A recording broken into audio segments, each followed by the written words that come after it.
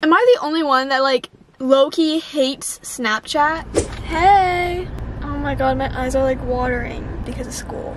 Kidding, but also I do tear up a little bit every time I have to walk into school. So it's 9.55 and guess where we're going?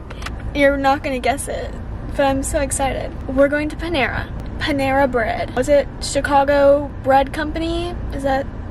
I'm gonna get broccoli, cheddar, mac and cheese, in a bread bowl and lemonade. And I'm so, I'm so excited. Oh my god. I never treat myself to lunch and I'm doing it. I'm doing it today. And you're coming with me. So. Is it weird that I'm getting lunch at 10? Like, is that weird? Are they serving lunch? So I went to Panera and then I was like, wait, what if they're not serving lunch yet? So I googled it and they start serving lunch at 10.30 and it was not 10.30. So I went to Target to pass time and I'm gonna do a little haul. I don't have that much money right now, so I got two things. I got some micellar, some micellar water because I went to my friend's house and she had it and I tried it and it worked so good. And I was like, yeah, I'm definitely not getting off all my makeup every night. So, and then I got gum because I'm a high schooler. So yeah, now we're gonna go to Panera. We got the food. This is the bread bowl. This is the soup. Do I have to pour it in to the bowl? That's crazy. I'm home. Dude, I get so much road rage. Like, it's actually not good. I think we're just gonna do this, like, in the car because I'm so hungry. Hello? Hello? Do I have to carve it out myself? What's going on here, man? I should definitely be inside for this, like, my poor car. I was standing in this Target aisle for, like, 10 minutes staring at these Revlons. I was like, should I do it? Should I? And when I checked my bank account and I didn't. Y'all hear that? That's my engine. Maybe I'll just turn my car off. Okay.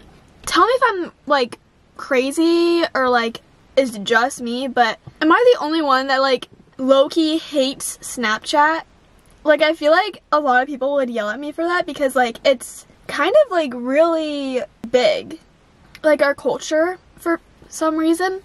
But I deleted Snapchat for like a solid five, six months. And I'd never been happier. For Lent last year, my mom challenged me to delete TikTok. And I did. And I was feeling very insecure and like depressed. And I kind of had a feeling that Snapchat had something to do with it. So I was like, I'm gonna add Snapchat to the challenge. Like, it wasn't part of it, but I made it part of it. I mean, TikTok is an addiction, and I think we're all doomed. We're all addicted. It's not going anywhere. But Snapchat, I feel like it can just go away. Like, the reason that I hate it so much is because it just makes me feel ugly.